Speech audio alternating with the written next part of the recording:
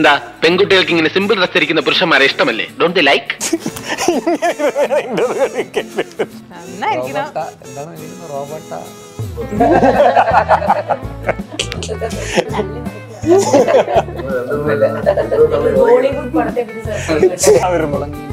ജീവിതം അങ്ങനെയല്ലേ?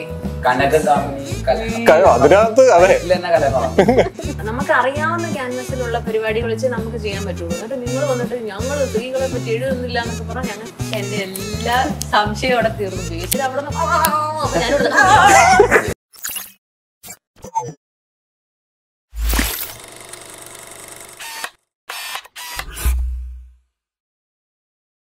നമ്മൾ സാധാരണ ജിതുചേട്ടന്റെ പടം എന്ന് പറയുമ്പോൾ അതിലൊരു പേരിനൊരു ഗുമ്മുണ്ടാവും. ഈ പറഞ്ഞ പോലെ ഋഷ്യമാണെങ്കിലും റാമാണെങ്കിലും നീര് എന്നൊക്കെ പറയുമ്പോൾ അടുത്തത് അനൗൺസ് വന്നു. അടുത്ത പടം ബേസിലുമായിട്ട് പടം വരുന്നു. അപ്പൊ എല്ലാവരും ആകാംക്ഷയുടെ കാത്തിരിക്കുകയാണ്. ടൈറ്റിൽ വന്നു നുണക്കുഴി.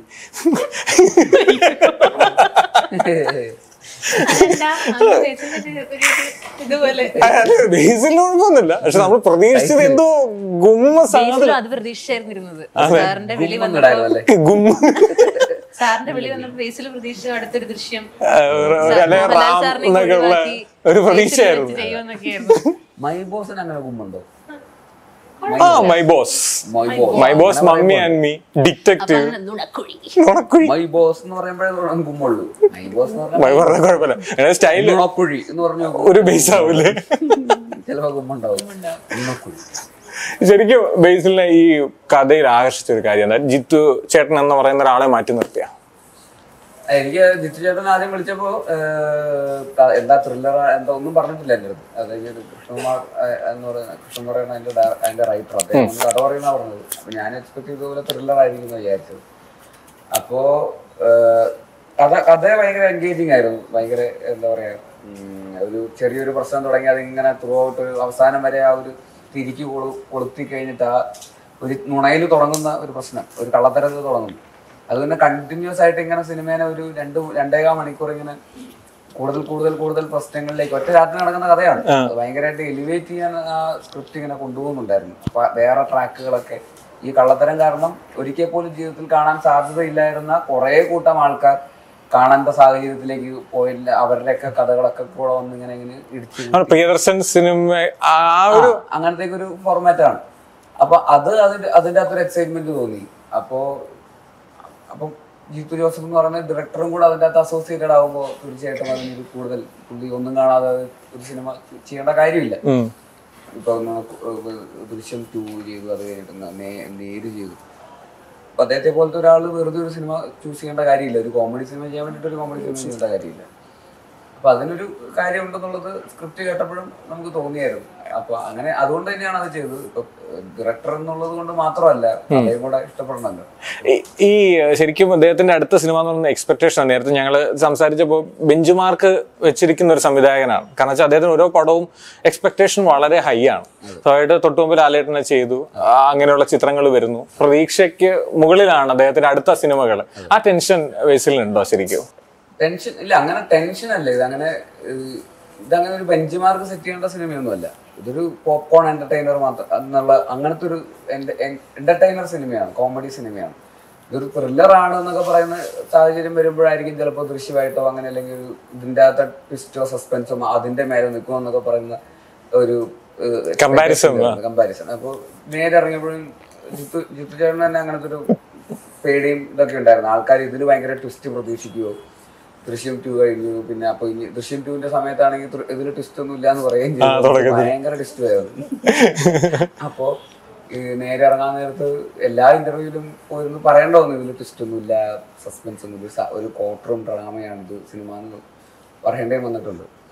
അപ്പൊ ഇതിന് അങ്ങനത്തെ ജോണർ കംപ്ലീറ്റ്ലി ഡിഫറെന്റ് ആയതുകൊണ്ട് ഇതിന്റെ അകത്ത് അങ്ങനത്തെ എന്താ പറയാ ബേർഡൻ ഒന്നുമില്ല. ഇതൊരു നേരിട്ട് വന്ന് എല്ലാവർക്കും തിയേറ്ററിൽ വന്ന് എൻജോയ് ചെയ്ത് കണ്ടിട്ട് പോകാൻ പറ്റുന്ന ഒരു സിനിമയാണ് കുറേ ആക്ടേഴ്സ് ഉണ്ട്. അപ്പൊ എല്ലാവരും അവരുടേതായ രീതിയിൽ നല്ലതായിട്ട് പെർഫോം ചെയ്യാനുള്ള സ്പേസ് ഉണ്ട് ഈ സിനിമയിൽ എല്ലാ ആക്ടേഴ്സിനും ഒരു മേജർ ആയിട്ട് നിൽക്കുന്ന എല്ലാ ആക്ടേഴ്സിനും ഉണ്ട്. അതൊക്കെ നമുക്ക് വളരെ ഇഷ്ടമുള്ള ആക്ടേഴ്സുമാണ് നമ്മൾ പണ്ട് മുതലേ കണ്ടുവരുന്ന ഇവർ മുമ്പും ഹ്യൂമർ ചെയ്ത് കണ്ടിട്ടുണ്ട്. കുറെ കാലമായിട്ട് ചിലപ്പോൾ അവർ ഹ്യൂമർ ചെയ്ത് നമ്മൾ കണ്ടിട്ടുണ്ടാവില്ല. അപ്പൊ ഇവരുടെയൊക്കെ കുറെ കാലത്തിന് ശേഷം അവരുടെ ഹ്യൂമർ കാണുന്നു. അപ്പൊ അവരുടെയൊക്കെ ഇടയിൽ നമ്മളും നമ്മുടെ റോളുകളും ഒക്കെ ആയിട്ട് ഗ്രേസും എല്ലാവരും കൂടെ ആയിട്ട് ഒരു കുറേ ആക്ടേഴ്സ് ഒക്കെ ഉള്ള ഒരു ഒരു കുഞ്ഞു കോമഡി പടം. അത് തന്നെയാണ് നുണക്കുഴി അത് ഇൻട്രസ്റ്റിംഗ് ആയിട്ട് തന്നെ വന്നിട്ടുണ്ടെന്നാണ് ഞങ്ങൾ വിശ്വസിക്കുന്നത്. ഗ്രേസിന് കുറച്ച് കാലമായിട്ട് ഒരു സമാധാനമുള്ള റോളില്ല ഈ ഇടയായിട്ടിൽ? എന്നും ടെൻഷനും പ്രശ്നങ്ങളും പ്രോബ്ലങ്ങളും ഉള്ള റോളുകളിലൂടെ ഒരു യാത്ര. ഇല്ല ഞാനിപ്പോ അടുത്ത് ലില്ലിക്കുട്ടി ചെയ്തില്ലേ? ലില്ലിക്കുട്ടി കാരണമാണല്ലോ എല്ലാവർക്കും പ്രശ്നം. ശരിയാ ഒന്നിനും സമാധാനമില്ല സമാധാനം കൊടുക്കില്ല ഒന്നി കൊടുക്കില്ല അല്ലെങ്കിൽ ഇല്ല. ഇത് ഏതെങ്കിലും ഒന്നാവരുന്നു. ജീവിതം അങ്ങനെയല്ലേ? കനകദാമിനി അതിനകത്ത് അതെ. കലഹമാണ്. റോഷ അപ്പനില്ല. അപ്പനിൽ ബഹളമാണ്. അല്ല ഇതിലുണ്ട്. അയ്യോ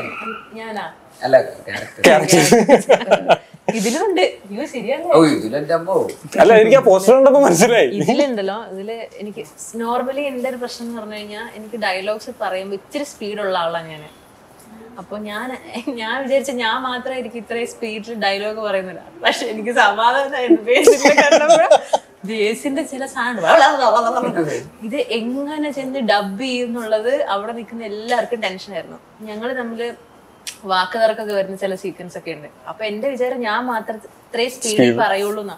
പക്ഷെ എന്റെ എല്ലാ സംശയവും അവിടെ തീർന്നു. ബേസിൽ അവിടെ ബേസിൽ ബേസിൽ ഡേറ്റ് ഇല്ലാത്തോണ്ടാ സ്പീഡ് അതൊന്നും ആയിരുന്നില്ല. ബേസിക്കലി ഇച്ചിരി അങ്ങനെ ഷൗട്ട് ചെയ്തൊക്കെ വരുമ്പോ നമുക്ക് കയ്യിൽ നിൽക്കില്ല ഒന്നാമത് ഇങ്ങനെ ഇങ്ങനെ സംസാരിക്കുന്ന ആൾക്കാർക്ക് ഇത്തിരി സ്പീഡും കൂടെ അപ്പൊ പക്ഷെ അത് ഭയങ്കര രസമായിട്ടോ? ആ സമയത്ത് സിറ്റുവേഷനിൽ അതായിരുന്നു വേണ്ടിയിരുന്നു രണ്ട് ക്യാരക്ടറിനും അപ്പൊ അങ്ങനെ നമ്മൾ ഇങ്ങനെ വാക്ക് കോർക്കുക എന്ന് പറയത്തില്ലേ? കൊമ്പ് കോർക്കുന്ന അവസ്ഥയൊക്കെ ചില സമയത്ത് ഉണ്ടായിട്ടുണ്ട്. സാറ് പറഞ്ഞു വെച്ച് വൈഡ് വെച്ച് അത് ഷൂട്ട് ചെയ്ത് വെച്ചിട്ടുണ്ട്. നല്ല രസമാണ് അതൊരു അസാധ്യ സീൻ ആയിരിക്കും എന്ന് അവർക്ക് ഭയങ്കര പ്രതീക്ഷ ഉണ്ടെന്നാണ് പറഞ്ഞത് മൊത്തത്തിൽ നമുക്കും പെർഫോം ചെയ്യാനും ഒക്കെ ആയിട്ട് സിറ്റുവേഷൻ ഭയങ്കര ഒരു സെക്കൻഡ് സൈലൻസ് ഇല്ല. അത് മാത്രം സൈലൻസ് എന്ന് പറയുന്നത് നമ്മുടെ റിയാക്ഷൻ മാത്രം. അല്ലാതെ ഈ ക്യാരക്ടറിന് ഒരാളൊന്ന് പതുങ്ങുമ്പോ അടുത്ത ആൾ രക്ഷപ്പെടാനായിട്ട് അയാൾ അയാളെ തകർക്കാൻ വേണ്ടി അടുത്ത ആളുടെ കുറച്ച് പേര്. എനിക്ക് നിങ്ങൾ ആദ്യമായിട്ടായിരിക്കും അങ്ങനെ ഒരു സീൻ അത്ര ലെങ്തി സീൻ ചെയ്യുന്ന ആദ്യമായിട്ടാണോ അങ്ങനെ? അത് മാത്രല്ല ഒരു ഒരേ സമയത്ത് ഇത്രയും ആക്ടേഴ്സിന്റെ കൂടെ വർക്ക് ചെയ്യണത്. ഒരു ഫ്രെയിമിൽ ഒരു ഷോട്ടിൽ ഇത്രയും ഫിൽഡ് ആയിട്ട് നിൽക്കുന്നത് ഞാൻ ആദ്യമായിട്ടാണ്. സീനിയർ ആയിട്ടുള്ള. ഇത്രയും പേരുടെ കൂടെ ആദ്യമായിട്ടാണ് ഒരുമിച്ച് അഭിനയിക്കുന്നത്. മുമ്പ് ജഗദീഷ് ചേട്ടനും അല്ലെങ്കിൽ അങ്ങനെ അങ്ങനെയുള്ള സീനിയർ ആക്ടേഴ്സിന്റെ കൂടെ നമ്മൾ അഭിനയിച്ചിട്ടുണ്ടെങ്കിൽ പോലും ഇത്രയും പേര് ഒരുമിച്ച് അത് ഹ്യൂമർ കൊടുത്ത് കൊടുത്ത് കൊടുത്ത്.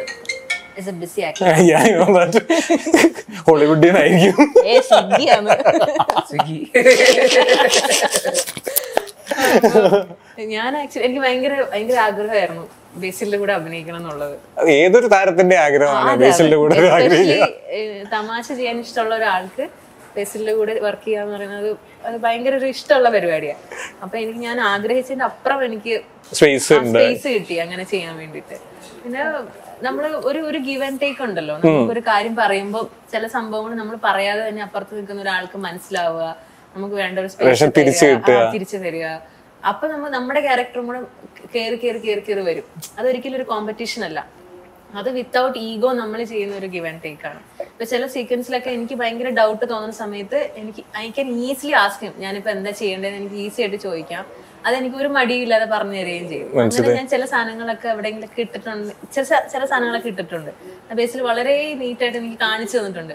ഞാൻ വീണ്ടും ചോദിക്കുമ്പോഴും വീണ്ടും കാണിച്ചു തരും എനിക്ക്. അപ്പൊ അങ്ങനെ എനിക്ക് ഭയങ്കര സന്തോഷം തോന്നി അങ്ങനെ ഒരാളുടെ കൂടെ വർക്ക് ചെയ്യാനായിട്ട്. എനിക്കും ഈ പറയുന്ന ഗ്രേസ് മുമ്പ് ചെയ്തിട്ടുള്ള സിനിമകളിലൊക്കെ ഭയങ്കരമായിട്ട് എനിക്ക് ഭയങ്കര റെസ്പെക്ട് ഉള്ള ആക്ട്രസ് ആണ്. ഈ പറയുന്ന ഹ്യൂമർ പ്രത്യേകിച്ച് ഹ്യൂമർ അത് ഇത്രയും സട്ടിലായിട്ടൊക്കെ ചെയ്യാന്ന് പറയുന്നത് അടിപൊളിയാണ്. ഈ റീസെന്റ് വന്ന ആക്ട്രസ്മാരിൽ ഏറ്റവും നന്നായിട്ട് ഹ്യൂമർ ചെയ്യുന്ന ഒരാളായിട്ടാണ് എനിക്ക് ഫീൽ ചെയ്തിട്ടുള്ളത്. അപ്പൊ ഏഹ്, അപ്പൊ ഇതിനു മുമ്പും ഇങ്ങനത്തെ ഈ കോമ്പിനേഷന് വേണ്ടിട്ട് പല സിനിമകളും ട്രൈ. സംസാരിച്ചിട്ടുണ്ട്. പക്ഷെ ആ സിനിമകളൊന്നും പിന്നീട് നടന്നിട്ടില്ല. മറ്റേ ഓപ്പോസിറ്റ് ചെയ്യുന്ന ഗ്രേസ്. അപ്പൊ നമുക്ക് ആ ക്യാരക്ടർ ആലോചിക്കും ഓ അപ്പൊ അത് അടിപൊളിയായിരിക്കും. അങ്ങനെ രണ്ടു മൂന്ന് സിനിമകൾ ആക്ച്വലി ആലോചിച്ചിട്ടുണ്ട്. ഇതിലാണ് അത്. സംഭവിച്ചത്. അപ്പൊ ആ ഹ്യൂമർ ടൈമിംഗ് ഒക്കെ ഉണ്ടല്ലോ. ഒട്ടും പുഷ് ചെയ്യാതെ തന്നെ കെമിസ്ട്രി വർക്ക് ആവാന്ന് പറയുന്ന ഒരു സാധനം. ഫീമെയിൽ ആക്ടേഴ്സ് കോമഡി ചെയ്യുന്നത് വളരെ കുറവാണ്. നമുക്ക് പണ്ട് ഉണ്ടായിരുന്നു അതെ. അങ്ങനെയൊക്കെ ആയിട്ട് ആക്ട്രസ്മാരുണ്ടായിരുന്നു അപ്പൊ അവരുമായിട്ട് ഞാൻ കമ്പയർ ചെയ്യല്ല. അത് അവരവരുടേതായ രീതിയിൽ അവർക്ക് എക്സൽ ചെയ്യുന്നുണ്ട്. ഗ്രേസിന് ഗ്രേസിന്റെതായിട്ടുള്ള ഒരു സ്പേസ് ഉണ്ട്. അപ്പോൾ അങ്ങനെ ഇപ്പൊ റീസെന്റ് വന്ന ആൾക്കാരിൽ അങ്ങനെ ചെയ്യുന്ന ആൾക്കാർ കുറവാണ്. കമ്പാരിറ്റീവ്ലി കഴിവുള്ളവരോട് ഇഷ്ടം പോലെ ഹ്യൂമർ വേറൊരു പ്രത്യേകം സ്കില്ലാണ് അത് ഗ്രേസ് വളരെ ചെറിയ റിയാക്ഷൻസിലൊക്കെ ആയിട്ടും ബോഡി ലാംഗ്വേജിലും ഒക്കെ ആയിട്ട് അത് കൊണ്ടുവരാൻ പറ്റാറുണ്ട്. അത് കേസ് ഭയങ്കര കമ്പാരിസൺ വരുന്നുണ്ടോ ശരിക്കും? ഈ പറഞ്ഞ പോലെ അതൊരു സരി പറഞ്ഞ അതൊരു ഇതായിട്ട് തോന്നുന്നുണ്ടോ ശരിക്കും? നേരത്തെ ഇല്ലായിരുന്നു. പക്ഷെ ഇപ്പൊ എനിക്കത് ഭയങ്കര ഒരു എന്താ എനിക്ക് എന്തോ ഒരു ബുദ്ധിമുട്ട് ഫീൽ ചെയ്യുന്നുണ്ട് അതിന്. വേറൊന്നും കൊണ്ടല്ല. നമ്മളെപ്പോഴും നമ്മുടേതായിട്ടുള്ള ഒരു ഒരു ആർട്ട് ക്രിയേറ്റ് അല്ലെങ്കിൽ നമ്മുടേതായിട്ടുള്ള ഒരു പരിപാടി ക്രിയേറ്റ് ചെയ്യാനായിട്ട് ശ്രമിക്കുന്ന ആ റൂട്ടിൽ പൊക്കോണ്ടിരിക്കുന്ന സമയത്ത് എവിടേക്കോ ഒരു ഡൈവേർഷൻ വേറൊന്നും കൊണ്ടല്ല ആൾക്കാർ സ്നേഹം കൊണ്ട് പറയുന്നതാണ്.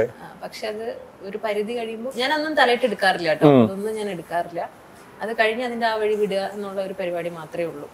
ഈ ഗ്രേസിന്റെ നേരത്തെ പറഞ്ഞ പോലെ ഇപ്പൊ ഗ്രേസിന്റെ ഒരു പെർഫോമൻസ് വന്നു കഴിഞ്ഞാൽ നമ്മൾ രണ്ട് രീതിയിൽ ആളുകൾ എനിക്ക് തോന്നുന്നു നമ്മുടെ ലാസ്റ്റ് ഞാൻ ഓപ്പൺ ആയിട്ട് പറയാം വെബ് സീരീസിന്റെ കാര്യം പറഞ്ഞപ്പോൾ ഒരു വിഭാഗം ആളുകൾ നല്ലത് എന്ന് പറഞ്ഞവരുണ്ട്. അതേപോലെ തന്നെ എനിക്കൊന്ന് അതേ രീതിയിൽ തന്നെ ഇഷ്ടമായില്ല എന്ന് പറഞ്ഞവരുണ്ട്. ആസ് എ ആക്ടർ ഇതിനെ എങ്ങനെയാ വിലയിരുത്തുന്നത്? അപ്പം നല്ലത് പറഞ്ഞത് ഈക്വൽ ആയിട്ടിരിക്കുകയാണ് മോശം പറഞ്ഞതും ഒരുപോലെ നിൽക്കുന്ന സാഹചര്യത്തിൽ നമ്മൾ ഏതിനെ നമ്മൾ എടുക്കും ശരിക്കും? എനിക്ക് ഈക്വൽ ആയിട്ട് തോന്നിയിട്ടില്ല. കൂടുതലും എനിക്ക് ഒരു എൺപത്തിയഞ്ച് ശതമാനം ആൾക്കാർ നല്ല രീതിയിലാണ് പറഞ്ഞിട്ടുള്ളത്. ഞാൻ പറഞ്ഞത് ഇത്രേ ഉള്ളൂ. നമ്മളൊരു പരിപാടി ചെയ്ത് കഴിഞ്ഞു കഴിഞ്ഞാൽ അതവിടെ തീർന്നു. നമ്മൾക്കൊരു പ്രതീക്ഷ ഉണ്ടോ എന്താണ് അതിന്റെ റിസൾട്ട് എന്ന് അറിയാനുള്ള ഒരു ക്യൂരിയോസിറ്റി നമുക്ക് ഉണ്ടാവും അത് അറിഞ്ഞു കഴിഞ്ഞാൽ പിന്നെ അതിന്റെ പുറകെ പോവാതിരിക്കുക എന്നുള്ളതാണ്. ആ ക്യാരക്ടറിനെ പിന്നെ ഹോൾഡ് ചെയ്യരുത്. അതിന് പിന്നെ അതിന്റെ പുറകെ പോവരുത്. പോയി കഴിഞ്ഞാൽ നമുക്ക് ചിലപ്പം എവിടെയെങ്കിലൊക്കെ ഒരു വിഷമം എവിടെയെങ്കിലൊക്കെ തട്ടിന്നിരിക്കാം. ഒന്ന് കഴിഞ്ഞു അത് സക്സസ് ആണ് അല്ലെങ്കിൽ ക്യാരക്ടർ ഏറ്റെടുത്തു എന്നുള്ള ഒരു റിസൾട്ട് കിട്ടിക്കഴിഞ്ഞാൽ പിന്നെ വശത്തേക്കേ പോയത് എന്റെ ഒരു അനുഭവം കൊണ്ട് ഞാൻ പഠിച്ചതാണ്. കഴിഞ്ഞ അവിടെ കഴിഞ്ഞു. അത്ര ഏത് സിനിമയാണെങ്കിലും ഏത് സിനിമയാണെങ്കിലും ഇപ്പൊ നാളെ ഈ സിനിമ ഇറങ്ങി കഴിഞ്ഞാൽ ഇതിന്റെ റിസൾട്ട് അറിഞ്ഞു കഴിഞ്ഞാൽ അവിടെ അവിടെ വിടുക അടുത്ത പരിപാടി തുടങ്ങുക അത് മാത്രമേ ഉള്ളൂ. ഒരുപാട് ആയി കഴിഞ്ഞാൽ നമുക്കതൊരു ബുദ്ധിമുട്ടാവും. ഈ ജോലിയുടെ ഒരു നേച്ചർ അങ്ങനെയാണ്. ഒരുപാട് നമുക്ക് എല്ലാം തലയിലേക്ക് എടുക്കാനായിട്ട് സാധിക്കില്ല. അങ്ങനെ എടുത്തു കഴിഞ്ഞിട്ടുണ്ടെങ്കിൽ അത് ഭയങ്കരമായിട്ട് നമ്മുടെ ഫ്യൂച്ചറിനെ ബാധിക്കും. അപ്പൊ അതുകൊണ്ട് അത് എന്റെ കൂടെ വർക്ക് ചെയ്ത ആൾക്കാർ എനിക്ക് പറഞ്ഞു തന്നിട്ടുള്ള ഒരു എക്സ്പീരിയൻസ് കൊണ്ടാണ് ഞാനത് പറയുന്നത് മമ്മൂക്ക് അടക്കം പറയും പറയാം കഴിഞ്ഞത് കഴിഞ്ഞു അതോടെ വിട്ടേക്കുക പിന്നെ അതിന്റെ പുറകെ പോരുത് എന്നുള്ള ഒരു സാധനം ഉള്ളത് കൊണ്ട് അതേ കീപ്പ് ചെയ്യാൻ ആഗ്രഹിക്കുന്നുള്ളൂ. ബേസിൽ ഇങ്ങനെ കോൺഷ്യസ് ആയിട്ടുള്ള ഒരാളാണ്. ഈ പറഞ്ഞ പോലെ നമ്മുടെ ക്യാരക്ടർ അല്ലെങ്കിൽ നമ്മൾ ചെയ്യുന്ന കാര്യങ്ങൾ മറ്റേ കഴിഞ്ഞ പ്രാവശ്യം ഗുരുവായൂരമ്പ നടയിൽ നിഖിലേക്ക് വന്നിരുന്ന് പറഞ്ഞിട്ടുണ്ട് ഡാൻസിനെ കുറിച്ചൊക്കെ നല്ല കോൺഷ്യസ് ആയിരുന്ന ഒരാളാണ് ചെയ്യുന്ന കാര്യത്തെ കുറിച്ചൊക്കെ. ആ ഒരു കോൺഷ്യസ് തുടരെ ഉള്ള ജീവിതത്തിന്റെ ഭാഗമാണോ അത്? ഇല്ല ചെയ്യുന്ന കാര്യത്തിൽ കോൺഷ്യസ് ആവാറുണ്ട്. എല്ലാം നന്നായിട്ട് ചെയ്യാൻ ആഗ്രഹിക്കുന്നു അത്രേ ഉള്ളൂ. മറ്റേതൊക്കെ വെറുതെ തമാശക്ക് പറയുന്നതാണ് അല്ലാതെ വെറുതെ അവരോട് അവരെ ചൊറിയാനും കേട്ട്. എന്തെങ്കിലുമൊക്കെ എന്റർടൈൻമെന്റ് വേണ്ടേ? അല്ലാതെ വേറെ ഒന്നുമില്ല നീ ഡാൻസ് കളിക്കൂ നീ ഡാൻസ് കളിക്കും. അപ്പൊ ഞാൻ കുറച്ചുകൂടെ നന്നായിട്ട് കളിക്കുന്നു ഡാൻസിനേക്കാൾ നന്നായിട്ട് അങ്ങനെ അത്ര ഉള്ളൂ. അല്ലാതെ ഇപ്പൊ എന്നേക്കാൾ നന്നായിട്ട് അവർക്ക് ഡാൻസ് കളിക്കാൻ പറ്റുമെന്ന് എനിക്ക് നന്നായിട്ട് അറിയാം. അതിപ്പോ ഞാൻ അതിലൊരു കോമ്പറ്റീഷൻ ഒന്നും ഉണ്ടായിട്ടൊന്നും കാര്യമൊന്നുമില്ല. ഇതൊരു എല്ലാവരോളം ഓളം അത്രേ ഉള്ളൂ. പക്ഷെ എനിക്ക് നന്നായിട്ട് നന്നായി പറ്റുന്ന പോലെ ഒരു എഫേർട്ട് എടുക്കുക. വൃത്തിയായിട്ട് ചെയ്യുക എല്ലാം വൃത്തിയായിട്ട് ചെയ്യും. ഇപ്പൊ ആ മോശമായിട്ട് ഡാൻസ് കളിക്കുന്ന ഒരു ക്യാരക്ടർ ആണതെങ്കിൽ മോശമായിട്ട് കളിക്കണം. ഇല്ല കുഴപ്പമില്ല ആ പാട്ട് അങ്ങനെയാണ്. നമ്മുടെ ഡാൻസ് നമ്മുടെ ഡാൻസിന് ഡിപ്പെൻഡ് ചെയ്യുന്നുണ്ട് ആ പാട്ട്. എന്നുണ്ടെങ്കിൽ ശരി നമുക്ക് എന്തെങ്കിലുമൊക്കെ പറ്റുന്ന രീതിയിൽ ഡാൻസ് കളിക്കുക എനിക്ക് ഡാൻസ് കളിക്കാൻ പറഞ്ഞോളൂ പക്ഷെ കുറെ പ്രാക്ടീസ് ചെയ്തിട്ടും അങ്ങനെ ഇങ്ങനെയൊക്കെ ആയിട്ട് ആ സ്റ്റെപ്പ് ഒന്ന് ഓർത്തിരിക്കാൻ പാടാണറിയും അപ്പൊ അത് ഡാൻസ് കളിക്കുന്നവര് അത് ഭയങ്കര സ്കില്ലാണ് അത് എന്തായാലും അത് വേറൊരു തരം ആർട്ട് തന്നെയാണ്. വേറൊരു ആർട്ട് തന്നെയാണ്. അതെ. പക്ഷെ ഒരു പടം കഴിഞ്ഞ് അതിനെ ഫോളോ ചെയ്യുന്നത് എങ്ങനെയാ അപ്പം എന്ത്? ഇപ്പൊ ഈ പറഞ്ഞ ചോദ്യമില്ലേ? പടം കഴിഞ്ഞിട്ട് അതിലേക്ക് ആ ഒരു ക്യാരക്ടർ അല്ലെങ്കിൽ അത് നന്നായോ? അല്ലെങ്കിൽ അത് ഇപ്പൊ ഒരാളൊരു മോശം എന്ന് പറയും. ഇല്ല, ഇതുപോലെയൊക്കെ തന്നെയാണ്. ഒരു പോയിന്റ് കഴിഞ്ഞാൽ പിന്നെ അത് വിട്ടല്ലോ. നമ്മളത് പിന്നെ അടുത്ത സിനിമ ചെയ്യല്ലേ? പിന്നെ നമ്മൾ അന്ന് ഒക്കെ ഉണ്ടെങ്കിൽ നമ്മൾ അതിൽ നിന്ന് റിപ്പീറ്റ് ചെയ്യാതിരിക്കാൻ നോക്കുക എന്നൊക്കെയുള്ളതാണ് ടെൻഷൻ ആവാറുണ്ടോ?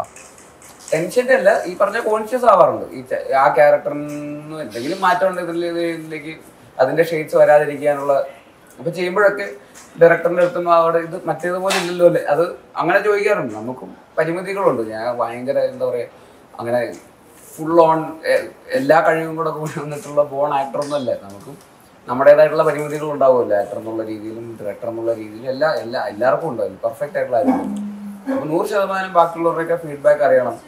നമുക്ക് പറ്റുന്ന രീതിയിൽ മാറ്റാൻ ഞാൻ ശ്രമിക്കാറുണ്ട്. പരമാവധി ഞാൻ ശ്രമിക്കാറുണ്ട്. ജെനുവിൻലി ശ്രമിക്കാറുണ്ട്. ഈ എനിക്ക് ഈ സിനിമ കണ്ടപ്പോൾ എനിക്കൊരു കോൺഫിഡൻസ് പോലെ തോന്നിയതായിരിക്കും. ഒരു പക്ഷേ ഒരു തൊണ്ണൂറുകളിലോ അല്ലെങ്കിൽ ആ ഒരു ടൈമിലായിരുന്നുണ്ടെങ്കിൽ നിങ്ങളുടെ ഈ കൂട്ടത്തിലുണ്ടായിരുന്നു. ഒന്നെങ്കിൽ സിദ്ധിക്കുക മനോജേട്ടനോ വൈജേട്ടനൊക്കെ ചെയ്യേണ്ട ഒരു റോളായിരുന്നു ശരിക്കും നിങ്ങൾ ചെയ്തിരിക്കുന്ന ആ ആ കാലഘട്ടത്തിലാണ് ഈ കഥ നടന്നതെങ്കിൽ. ഈ ഇപ്പൊ നിങ്ങൾ ചെയ്യുന്ന ഈ കഥാപാത്രങ്ങൾ അല്ലെങ്കിൽ ഈ ഒരു ക്യാരക്ടർ ഒരു നെക്സ്റ്റ് ഡോർ ബോയി എന്നുള്ള ഒരു ഇമേജ് ആരെങ്കിലും റെഫർ ചെയ്യുന്നുണ്ടോ? അല്ലെങ്കിൽ ഇങ്ങനെ ആയിരിക്കണം അല്ലെങ്കിൽ ഇതുപോലെ ആവണം എന്നുള്ളൊരു തോന്നലുണ്ടോ മനസ്സിൽ നമുക്ക് നമ്മുടേതായിട്ടുള്ള ഒരു ഐഡന്റിറ്റി ഉണ്ടല്ലോ. അതപ്പോ അത് ആ രീതിയിൽ എങ്ങനെ ചെയ്യാന്നുള്ളത് തന്നെയാണ്. പിന്നെ ബോയ് നെക്സ്റ്റ് ഡോർ ഓരോ കാലത്തിനനുസരിച്ച് മാറുമല്ലോ. അയാളുടേതായിട്ടുള്ള പ്രശ്നങ്ങളും അയാളുടെ കാര്യങ്ങളൊക്കെ മാറുമല്ലോ. പണ്ടത്തെ രീതിയിലായിരിക്കില്ല ഇന്ന് അയാൾ ബിഹേവ് ചെയ്യുന്നുണ്ടാവും അയാളുടെ ഇമോഷൻ ചിലപ്പോൾ ഒന്നായിരിക്കാം. ബ്രേക്കപ്പ് കല്യാണം മുടങ്ങുന്നു തൊഴിലില്ലായ്മ,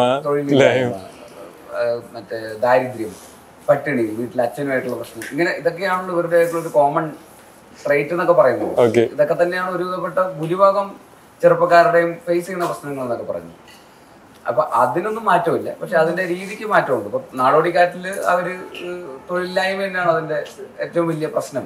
പക്ഷെ അതിപ്പോ രണ്ടായിരത്തി ഇരുപത്തിനാലിൽ അത് പ്രസന്റ് ചെയ്യപ്പെടുന്ന രീതി ചിലപ്പോൾ വ്യത്യാസമായിരിക്കും. നയന്റീസ് പോലെ ആയിരിക്കും. അപ്പൊ ആ രീതിയിലുള്ള മാറ്റങ്ങളൊക്കെ ഉണ്ടെന്നുള്ളതല്ലാതെ നമ്മൾ ആക്ടർ എന്നുള്ള രീതിയിൽ ഒരു ആക്ടറിന്റെ ഫോളോ ചെയ്യുകയോ അല്ലെങ്കിൽ റെഫറൻസ് വെച്ചിട്ട് ഒരു ചെയ്യാന്നുള്ളതൊന്നുമല്ല. സബ്ജക്ട് ചൂസ് ചെയ്യുന്ന സിനിമ വർക്കാവുക ആത്യന്തികമായിട്ട്. അതിന്റെ അകത്ത് എനിക്ക് എന്തൊക്കെ കോൺട്രിബ്യൂട്ട് ചെയ്യാൻ പറ്റും? അല്ലാതെ ഭയങ്കരമായിട്ട് പുതിയ ടൈപ്പ് ക്യാരക്ടർ തന്നെ ചെയ്യണം ഭയങ്കരമായിട്ട് ഇതുവരെ ചെയ്യാത്ത ആരും കണ്ടിട്ടില്ലാത്ത ക്യാരക്ടർ ചെയ്യണം അതിന് വേണ്ടിയിട്ട് നമ്മൾ ഡെസ്പറേറ്റ് ആയിട്ട് ആവശ്യമില്ലാത്ത എക്സ്പെരിമെന്റിലേക്ക് പോവാതെ നല്ല സിനിമയാണെങ്കിൽ അതിന്റെ ഞാൻ എന്തൊക്കെ രീതിയിൽ കോൺട്രിബ്യൂട്ട് ചെയ്യാൻ പറ്റും? അതിൽ എന്തൊക്കെ ചെറിയ ചെറിയ വ്യത്യാസങ്ങൾ കൊണ്ടുവരാൻ പറ്റും എന്നുള്ളതാണ് ഞാൻ ആഗ്രഹിക്കുന്നത് ശ്രമിക്കുന്നത്. ഇവൻച്വലി ചിലപ്പോൾ അത്യാവശ്യം ആ സക്സസ് നമുക്ക് ചിലപ്പോൾ കുറെ കൂടെ ബാങ്കബിലിറ്റിയും വാല്യൂ ഉണ്ടാക്കുമ്പോൾ കുറെ കൂടെ പുതിയ ആൾക്കാർ ഇത് സ്ഥിരം ചെയ്യുന്ന ക്യാരക്ടേഴ്സ് അല്ലാതെ റെഗുലർ കൈ അല്ലാതെ ചിലപ്പോ ക്യാരക്ടറിനെ വെച്ചിട്ട് ഈ രീതിയിൽ ആലോചിച്ചുകൂടെ ഈ രീതിയിൽ ആലോചിച്ചുകൂടെ എന്നൊക്കെ ചിലപ്പോൾ ആൾക്കാർ ആലോചിച്ചു തുടങ്ങാം. അപ്പൊ അതിനനുസരിച്ചിട്ട് വേറെ വേറെ പല പല ക്യാരക്ടേഴ്സ് വരും എന്നാണ് ഞാൻ വിശ്വസിക്കുന്നത്. അതിന് മുമ്പേ നമ്മൾ അതിന് വേണ്ടിയിട്ട് പുഷ് ചെയ്യാൻ നിന്ന് കഴിഞ്ഞാൽ ചിലപ്പോ ഇത് ഉത്തരത്തിൽ നിന്ന് കിട്ടിയതുമില്ല കഷത്തിരിക്കുന്നു പോയെന്ന് പറഞ്ഞ അവസ്ഥയാവും അല്ലേ? നല്ല സബ്ജക്ട് ഉണ്ടാക്കുക നല്ല സിനിമയുടെ ഭാഗമാണെന്നുള്ളതാണ് ബേസിക് ആയിട്ട് സക്സസ് അതാണ് ഏറ്റവും കൂടുതൽ വേണ്ടത്. കമേഴ്ഷ്യൽ സക്സസ് ഈ ഇപ്പോ ബേസിലിന്റെ കാര്യം പറയണേ കഴിവ് ഓക്കെ നമ്മൾ കഴിവിനപ്പുറം. ഇപ്പോൾ ഇപ്പൊ പ്രത്യേകിച്ച് ആണുങ്ങൾ ഇപ്പൊ ബേസിൽ സംവിധാനം ചെയ്യുന്നു അഭിനയിക്കുന്നു. അവരുടേതായ കാര്യങ്ങൾ ഒരുപാട് കാര്യങ്ങൾ ഇൻവോൾവ് ചെയ്യുന്നുണ്ട്. പക്ഷെ നമുക്കിപ്പോ ഈ നമ്മുടെ ഇൻഡസ്ട്രിയിൽ നോക്കിക്കഴിഞ്ഞാൽ സ്ത്രീകൾ ഈ പൊതുവെ ഇങ്ങനെയുള്ള പല മേഖലകളിൽ വർക്ക് ചെയ്യുന്നവർ കുറവാണ്. ഇല്ലാന്ന് തന്നെ നമുക്ക് പറയേണ്ടി ഒറ്റ ടൈമിൽ പല വർക്കങ്ങൾ അതൊരു എന്തുകൊണ്ടായിരിക്കും അങ്ങനെ സംഭവിക്കുന്നത്? ലൈക്ക് അങ്ങനെ തോന്നൽ ചിന്തിച്ചിട്ടുണ്ടോ എപ്പോഴെങ്കിലും? ഇപ്പൊ കേസിനൊപ്പം വേണമെന്നുണ്ടെങ്കിൽ ഇപ്പൊ വേണമെങ്കിൽ സിനിമ ഡയറക്റ്റ് ചെയ്യാം. അല്ലെങ്കിൽ അഭിനയം ചെയ്യട്ടെ നല്ല നല്ല കാര്യമല്ലേ? പക്ഷെ നമുക്ക് ഇപ്പൊ അറ്റ് പ്രസന്റ് നമ്മുടെ മുമ്പിലുള്ള കാഴ്ചകളിൽ അങ്ങനെ ഒരു സാധ്യത വളരെ കുറവാണ്. അതെന്തുകൊണ്ടാണെന്നുള്ളൊരു ചിന്ത അല്ലെങ്കിൽ ഉണ്ടായിട്ടുണ്ടോ? ഞാൻ അങ്ങനെ ആധികാരികമായിട്ടൊന്നും ചിന്തിച്ചിട്ടില്ല. പക്ഷെ എനിക്ക് തോന്നിയിട്ടുണ്ട് നല്ല നല്ല റൈറ്റേഴ്സ് വന്നാൽ കൊള്ളാമെന്നുണ്ടെന്ന് അപ്പൊ ഞാൻ ഇപ്പോൾ ഒരു മ്യൂസിൻ പരാരിയായിട്ട് ഇടയ്ക്ക് നമ്മൾ സംസാരിക്കുന്ന സമയത്ത് മ്യൂസിക് ഇടയ്ക്ക് പറയാറുണ്ട്. എടോ താൻ എഴുത്. ഇടയ്ക്ക് ഞാൻ ഓരോ സബ്ജക്ട്സ് ഒക്കെ ഇങ്ങനെ ഇടയ്ക്ക് നമ്മൾ സംസാരിക്കുമ്പോൾ പറയുമ്പോൾ പറയും എടോ താൻ എഴുത്. അല്ലെങ്കിൽ തന്റെ സുഹൃത്തുക്കളൊക്കെ ആരെങ്കിലും ഉണ്ടെങ്കിൽ അവരെ കൊണ്ട് എഴുതിപ്പിക്കുക കാരണം ഞങ്ങൾക്കൊരു പരിമിതി ഉണ്ട് നിങ്ങളുടെ മനസ്സിലുള്ളത് അറിയാനായിട്ട്. നിങ്ങൾ നിങ്ങളുടെ മനസ്സിലുള്ള പരിപാടികളൊക്കെ എഴുതിയിട്ട് അത് നമ്മുടെ അടുത്ത് കൊണ്ടുവരുമ്പോൾ നമുക്ക് കുറച്ചും കൂടെ ഒരു ഒരു സ്പേസ് ഉണ്ട്. മനസ്സിലായോ? മനസ്സിലായി. ക്യാൻവാസ് വലുതാണ്. നമുക്ക് അറിയാവുന്ന ക്യാൻവാസിലുള്ള പരിപാടികൾ വെച്ച് നമുക്ക് ചെയ്യാൻ പറ്റുള്ളൂ. എന്നിട്ട് നിങ്ങൾ വന്നിട്ട് ഞങ്ങൾ സ്ത്രീകളെ പറ്റി എഴുതുന്നില്ല എന്നൊക്കെ പറഞ്ഞാൽ ഞങ്ങൾക്ക് അറിയ അറിയാനായിട്ടുള്ള കുറച്ചൊരു എന്താ പറയാ അതിന്റെ ഒരു ഇത് കുറവാണ്. സോഴ്സ് കുറവാണ്. അപ്പൊ എഴുതുന്ന കുറച്ച് സുഹൃത്തുക്കളൊക്കെ ഉണ്ടെങ്കിൽ അവരോടൊക്കെ പറ എന്നൊക്കെ പറയുന്നുണ്ട്. ഞാൻ ഒന്ന് രണ്ടുപേരോടൊക്കെ പറഞ്ഞു. കുറച്ചുപേർക്കൊക്കെ ഭയങ്കര മടിയുണ്ട്. പിന്നെ ഇതിന്റെ ഒരു വശം എന്താണെന്ന് അറിയില്ല പിന്നെ ഇതിനെപ്പറ്റി വലിയ ധാരണയൊന്നുമില്ല. ചില എന്റെ ഒന്ന് രണ്ട് സുഹൃത്തുക്കൾക്ക്. പിന്നെ നമുക്ക് ഇതൊന്നും പിടിച്ചുകൊണ്ട് വരാൻ പറ്റുന്ന ഒരു പരിപാടിയൊന്നും അല്ല ഇതെല്ലാം നമുക്ക് തോന്നിയിട്ട് വരേണ്ട കാര്യങ്ങളൊക്കെ തന്നെയാണ്. പിന്നെ വരട്ടെ അതെല്ലാം തോന്നണം. ശരിക്കും ഇപ്പൊ നിങ്ങൾ ഈ ഫീൽഡിൽ നിൽക്കുന്നവരല്ലേ അതിന്റെ ഒരു ഇനിഷ്യേറ്റീവ് എടുക്കേണ്ടത്? തീർച്ചയായിട്ടും. ഞാൻ എന്നെ കൊണ്ട് പറ്റാവുന്ന രീതിയിൽ ശ്രമിക്കുന്നുണ്ട്. അറിയാവുന്ന സുഹൃത്തുക്കളുടെ അടുത്തൊക്കെ പറയുന്നുണ്ട്. അവർക്കൊക്കെ എന്തോ ഭയങ്കര ഇൻസെക്യൂരിറ്റീസ് ഉണ്ട്. ഇതിനകത്തേക്ക് വരാനായിട്ടുള്ള കുറേ കുറേ കുറേ കാര്യങ്ങളുണ്ട് ഇതിന്റെ പുറകിൽ അപ്പൊ ഇൻസെക്യൂരിറ്റീസ് എല്ലാം മറികടന്ന് വേണം നമ്മൾ ഇതിനകത്തേക്ക് വരാൻ. ഇപ്പൊ ഒരിക്കലും നമുക്കിപ്പം അതൊരു സ്ത്രീ പുരുഷൻ ഒന്നുമില്ല കേട്ടോ. ആ കാര്യത്തിൽ എനിക്ക് പറയാനാണെന്നുണ്ടെങ്കിൽ ഇപ്പൊ എന്റെ ഒരു എക്സ്പീരിയൻസ് വെച്ചിട്ട് ഒരു ഒരു ഇൻഡസ്ട്രിയിൽ നിലനിന്ന് പോവാന്ന് പറയുന്നത് രണ്ട് കൂട്ടർക്കും ഡിഫിക്കൽട്ട് ആയിട്ടുള്ള ഒരു കാര്യമാണ്. സ്ത്രീകൾക്ക് മാത്രം പെട്ട കാര്യമല്ല. അപ്പൊ ഇപ്പൊ ബേസിൽ ബേസിലായിട്ട് ഡിഫിക്കൽട്ടീസ് ഒരുപാടുണ്ട്. എസ്പെഷ്യലി നമ്മളൊന്ന് സക്സസ് ആയി വരുമ്പോൾ അതിന് അതിന്റെതായിട്ട് ഡിഫിക്കൽട്ടീസ് ഒരുപാടുണ്ട്. അതുപോലെ തന്നെയാണ് നമുക്കും ഉള്ളത്. നമ്മൾ അതിന് ജെൻഡർ ഇക്വാലിറ്റി അല്ലെങ്കിൽ ഡിഫറൻസ് ഒന്നും കാണേണ്ട കാര്യമില്ല. എല്ലാവർക്കും അതിനായിട്ടുള്ള ബുദ്ധിമുട്ടുകളുണ്ട്. സ്ട്രഗ്ലിംഗ് പീരീഡ് എന്ന് പറഞ്ഞൊരു പീരീഡ് ഉണ്ട്. അതിൽ നമ്മൾ സ്ട്രഗിൾ ചെയ്തേ പറ്റുള്ളൂ. അതാണ് ഏതൊരു ജോലിയുടെയും നേച്ചർ നമ്മളൊരു ഓഫീസ് ജോലി ചെന്ന് കഴിഞ്ഞാൽ അവിടെ ഒരു സ്ട്രഗ്ലിംഗ് പീരീഡ് ഉണ്ടല്ലോ. ഇതൊരു മീഡിയ വേൾഡ് ആയതുകൊണ്ടും കുറച്ചുകൂടെ എക്സ്പോസ്ഡ് ആയതുകൊണ്ടുമാണ് ഇതിന്റെ കാര്യങ്ങൾ കുറച്ചും കൂടെ ആളുകളിലേക്ക് അറിയുന്നത്. അതല്ലെങ്കിൽ എല്ലാ വർക്കിംഗ് സ്റ്റേഷനിലുള്ള ഡിഫിക്കൽട്ടീസ് തന്നെയാണ് ഇവിടെ ഉള്ളത്. അതാണ് എനിക്ക് തോന്നിയിട്ടുള്ള ഒരു കാര്യം. ബേസിൽ എന്ന് പറയുന്നത് ബ്രാൻഡ് ആയിട്ടുള്ള ഒരു ഡയറക്ടർ കൂടിയാണ്. അത് ഈവൻ നമ്മുടെ ഇന്ത്യ ബേസ് ഒരു നാഷണൽ ലെവലിൽ ഒരു ബ്രാൻഡ് വാല്യൂ സൃഷ്ടിച്ച ഒരാളാണ്. അയാൾക്ക് സ്വാഭാവികമായിട്ട് നമ്മൾ അടുത്തൊരു പടം എന്ന് പറയുന്ന ഒരു ബ്രാൻഡിൽ നമ്മൾ ഹൈ പിച്ച് ചെയ്ത് മുകളിലേക്ക് മുകളിലേക്ക് കൊണ്ടുവരാനുള്ള ശ്രമം നടത്തുമ്പോൾ ചിലപ്പം അതിന്റെതായ കാലതാമസം കൊണ്ടായിരിക്കാം മറ്റ് സിനിമകളിലെ അഭിനയം എന്ന് പറയുന്നതിലേക്ക് കൂടുതൽ കോൺസെൻട്രേറ്റ് ചെയ്യുന്നത്. അപ്പോൾ ഈ മറ്റേ വശത്തേക്ക് ശരിക്കും താന്നു പോവില്ല ആ ഒരു ബ്രാൻഡിനെ ബ്രാൻഡ് വാല്യൂ ഇതൊരു ഭയങ്കര ട്രിക്കി ബാലൻസ് ആണ്. ഞാൻ ആക്ടർ എന്നുള്ള രീതിയിൽ അങ്ങനെ പ്രതീക്ഷിച്ചല്ല ഇങ്ങനെ ഒരു പ്രൊഫൈലിൽ എത്തുമെന്നോ ലീഡ് ആക്ടർ ആവുമെന്നോ ഒന്നും വിചാരിച്ചതല്ല. അതിങ്ങനെ ഒരു ഒരു ഫ്ലോയിൽ അങ്ങനെ സംഭവിച്ചപ്പോൾ അതങ്ങനെ അങ്ങനെ സംഭവിച്ചു. അങ്ങനെ എത്തിയതാണ്. ആദ്യം തന്നെ സപ്പോർട്ടിങ് ആക്ടേഴ്സ് ആയിട്ട് അഭിനയിച്ചു തുടങ്ങുന്ന തന്നെ സുഹൃത്തുക്കളുടെ സിനിമയിലേക്ക് അവർ വെറുതെ വിളിച്ചു തുടങ്ങി. അങ്ങനെ അങ്ങനെ അങ്ങനെ. പിന്നെ പിന്നെ പിന്നെ പിന്നെ അതും അതിൽ അങ്ങനെ വന്നു. പിന്നെ അങ്ങനെ എത്തിയതാണ്. അപ്പോൾ എന്റെ പ്രൈമറി പ്രയോറിറ്റി എന്നും ഡയറക്ടർ എന്നുള്ള രീതിയിൽ തന്നെയായിരുന്നു. ഇതിങ്ങനെ എത്തി ഇതിനൊരു ഒരു പോയിന്റ് എത്തിയപ്പോഴാണ് ഇതിങ്ങനെ ആയത്. അപ്പോൾ അങ്ങനെ ഒരു സിറ്റുവേഷൻ വരുമ്പോൾ ഡെഫിനറ്റ്ലി ഞാൻ ചെയ്യുന്ന സിനിമകളുടെ വലിപ്പം ഈ പറയുന്ന ഡയറക്ടർ എന്നുള്ള രീതിയിൽ കുറച്ചുകൂടെ സ്കെയിൽ കൂടിയ സിനിമകളൊക്കെ ആകുമ്പോൾ അതിന് വേണ്ടി ചെലവഴിക്കേണ്ട സമയം ഒരുപാട് ആവശ്യമുള്ള സിനിമ. അപ്പൊ ഇത് ആക്ടർ എന്നുള്ള പ്രൊഫൈലും കൂടെ വെച്ചിട്ട് മാനേജ് ചെയ്യാന്ന് പറയുന്നത് എനിക്ക് പേഴ്സണലി അത്ര എളുപ്പമുള്ള കാര്യമല്ല. അങ്ങനെ മൾട്ടി ടാസ്കിങ് ചെയ്യുന്ന ആൾക്കാരുണ്ട് ഇപ്പോൾ രാജുവേട്ടൻ, എന്ന് പറയുന്ന അദ്ദേഹം അഭിനയിക്കുന്നുണ്ട് പ്രൊഡ്യൂസ് ചെയ്യുന്നുണ്ട് ഡിസ്ട്രിബ്യൂട്ട് ചെയ്യുന്നുണ്ട് ഡയറക്ട് ചെയ്യുന്നുണ്ട്. എല്ലാം അതും വലിയ സിനിമ ഡയറക്ട് അദ്ദേഹത്തിനെ കൊണ്ട് അത് പറ്റുന്നുണ്ട്. അങ്ങനെ മാനേജ് ചെയ്യാൻ പറ്റുന്ന ആൾക്കാർ ഉണ്ട്. പക്ഷെ എന്നെ സംബന്ധിച്ചിടത്തോളം അത് രണ്ടും കൂടെ കുറച്ച് ബുദ്ധിമുട്ടാണ്. ഞാൻ രണ്ടിനും ഭയങ്കരമായിട്ട് കുറച്ചുകൂടെ സമയമെടുത്ത് പ്രിപ്പയർ ചെയ്ത് അങ്ങനെ ചെയ്യാൻ ആഗ്രഹിക്കുന്നത്. പെട്ടെന്ന് രണ്ടും കൂടെ ഒരു രണ്ടും ഇല്ലാതെ ഇല്ലാതാകരുതല്ലോ അപ്പൊ അതുകൊണ്ട് ആ ഒരു സമയം അതിനുവേണ്ടി സ്പെൻഡ് ചെയ്യാനുള്ള ബുദ്ധിമുട്ടുണ്ട് ആക്ച്വലി അപ്പൊ അത് താന്നു പോകുന്നു എന്നുള്ളൊരു പ്രശ്നമുണ്ട്. അതേസമയം ഇപ്പൊ ഇങ്ങനെ ഒരു പൊസിഷനിൽ നിൽക്കുമ്പോൾ ഇത് വിട്ടിട്ട് അതിലേക്ക് പോകുമ്പോൾ അയ്യോ ഇവിടെ ഇത് ആക്ടർ എന്നുള്ളത് വിട്ടിട്ട് പോകല്ലേ അവിടെ കമ്മിറ്റ്മെന്റ്സ് അല്ല ഇവിടെ ഉള്ളത് നമ്മൾ ബ്രേക്ക് എടുത്തു കഴിഞ്ഞാൽ ഇവിടെ നിന്നുള്ള ആ ഒരു ഇത് പോവില്ലേ? കാരണം അഭിനയിക്കാൻ എപ്പോഴും നമുക്ക് അവസരങ്ങൾ കിട്ടില്ല. അത് സത്യം. ആ ഒരു അപ്പൊ ഇത് രണ്ട് രണ്ട് സ്ഥലത്തു നിന്നുമുള്ള പ്രശ്നങ്ങൾ വരും. ഡയറക്ടർ എന്നുള്ള രീതിയിൽ അത് ബ്രേക്ക് എടുക്കുന്ന എന്തിനാ ഇവിടെ നിന്ന് പോകുമ്പോൾ അതിൽ നിന്ന് നിങ്ങൾക്ക് ഇനി അതിന്റെ മേലേക്ക് ഇനി പോകാനുള്ള സമയമല്ലേ എന്ന് ചോദിക്കുന്നവരുണ്ട്. അതേസമയം അതിനു വേണ്ടി പോകാൻ വേണ്ടിയിട്ട് ഇത് ബ്രേക്ക് എടുക്കാൻ ആലോചിക്കുമ്പോൾ അയ്യോ ഇപ്പൊ അഭിനയിച്ചുകൊണ്ടിരിക്കുമ്പോൾ ഇനി എപ്പോഴും ഇങ്ങനെ കിട്ടണമെന്നില്ല. ഇത് കണ്ടിന്യൂസ് ആയിട്ട്. പക്ഷെ ഏതെങ്കിലും ഒരു പോയിന്റിൽ എന്തെങ്കിലും നിന്നും ബ്രേക്ക് എടുത്തേ പറ്റുള്ളൂ. അപ്പൊ അതിനു വേണ്ടിട്ട് ഒരു സമയം സംഭവിക്കുന്നതാണോ? എന്താ കമ്മിറ്റ്മെന്റ്സ് നീണ്ട കിടക്കാണോ സിനിമകളുടെ ഇമ്മീഡിയറ്റ്ലി ബ്രേക്ക് എടുക്കും. ഒരു രണ്ട് മാസം കഴിയുമ്പോൾ തന്നെ ബ്രേക്ക് എടുക്കും. ഈ ബേസിലിനെ സംബന്ധിച്ചോളം എപ്പോഴും ബേസിലിനെ ഒരു ഒരു ടൈമിൽ ഏതെങ്കിലും ഒരു സുഹൃത്തുക്കായിട്ടുള്ള പേര് എപ്പോഴും കൂടി ചേർക്കും. ഒന്നെങ്കിൽ ടൊവിനോ ബേസിൽ ധ്യാൻ ബേസിൽ ഇത് സംഭവിച്ചു പോകുന്നതാണോ അതോ അതോന്നുകൂടി ആ ഒരു നമ്മളൊരു മാർക്കറ്റിങ്ങിന്റെ ഭാഗമായിട്ട് യൂസ് ചെയ്യാറുണ്ടോ അത് മാർക്കറ്റിംഗ് ഒന്നുമല്ല എന്ത് മാർക്കറ്റിംഗ് അത് എന്താ പറയുന്നത് എല്ലാവരുമായിട്ടും ഇങ്ങനെ ഒരു ഓളത്തിലൊക്കെ പോകുന്നല്ലേ. അത് ആരുമായിട്ട് അങ്ങനെ എന്താ പറയാ ഞാൻ അവരെ കളിയാക്കും അവരെന്നെ കളിയാക്കും. അങ്ങനെ ഇങ്ങനെയൊക്കെ ആയിട്ടൊരു റാപ്പ് വരുമ്പോ തീർച്ചയായിട്ടും ആ കോമ്പിനേഷൻസിലൊക്കെ ഒരു ആൾക്കാർ അതിൽ ബേസിൽ അതിനുള്ള സ്വാതന്ത്ര്യം ഉണ്ടെന്ന് തോന്നുന്നല്ലേ? ആരോടും എന്തെങ്കിലുമൊക്കെ പറഞ്ഞാലും. എന്നാലേ അത് രസമുള്ളൂ. അല്ലാതെ ഭയങ്കര സീരിയസ് ആവുന്ന കഴിഞ്ഞാൽ നമ്മൾ ഇങ്ങനെ ഇങ്ങനെ ഇങ്ങനെ ഇതുമായിട്ട് ഡിസ്റ്റൻസ് മാറിക്കൊണ്ടിരിക്കുമല്ലോ ആൾക്കാർ തമ്മിലുള്ള റിലേഷൻഷിപ്പിന്റെ ഡിസ്റ്റൻസ് ഒക്കെ മാറുമല്ലോ ഒരു ഫാസി ബാക്കിൽ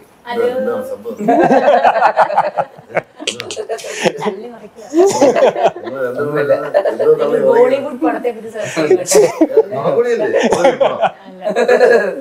അല്ല ബേസിലിന്റെ അടുത്ത ഭാഗത്ത് വിജറിന് റോൾ ഉണ്ടെന്ന് പറയുകയായിരുന്നു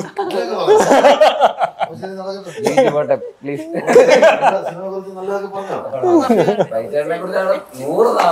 ഓക്കെ.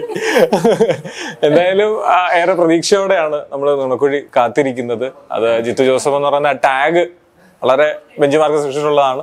ഈ പടവും അങ്ങനെ തന്നെ ആവട്ടെ. പിന്നെ ഈ പറഞ്ഞ ബേസിൽ എന്ന് പറയുന്ന ഒരാളിൽ നമുക്ക് പ്രതീക്ഷിക്കുന്ന ഇപ്പൊ എക്സ്പെക്ട് ചെയ്യുന്ന ഒരു കാര്യങ്ങളുണ്ട്. അതേ ബ്രാൻഡ് വാല്യൂ ഇപ്പോ കേസിനും ഉണ്ട്. അതും തിരിച്ച് നമുക്ക് പ്രതീക്ഷിക്കുന്ന പോലെ കിട്ടട്ടെ. നുണക്കുഴി ഹിറ്റ് ആവട്ടെ. ടച്ച് വുഡ് എല്ലാം ഇപ്പൊ ഹീറ്റ് ആയിക്കൊണ്ടിരിക്കുകയാണ് അടിച്ചിട്ട് പ്ലൈവുഡ് ഏതായാലും നമുക്ക് ഇതിന്റെ ഒരു സക്സസിന് ശേഷം വീണ്ടും കാണാനുള്ള ഒരു ഭാഗ്യം ഉണ്ടാവട്ടെ. Thank you so much thank you